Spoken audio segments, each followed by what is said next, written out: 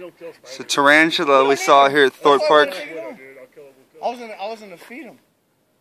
Feed him. He's bigging. There's my hand next to him. No, no, no, feed him crickets and shit. One time we found a uh, horny toad out here. and then we went on vacation. They won't. they, to, they, uh, they will do nothing to North Dakota to go see the mountain and whatnot. And I was like, well, what should we do the horny toad? It's fucking very well. Yeah. we fed him all the way down. Yikes, dude. This thing's Give giving me the